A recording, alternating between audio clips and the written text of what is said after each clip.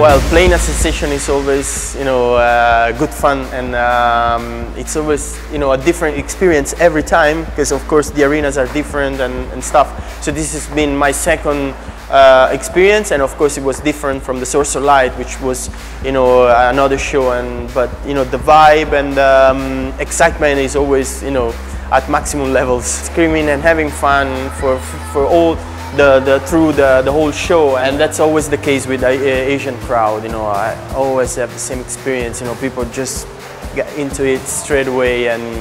it was like a totally hands in the air party and the DJs were so beautiful as well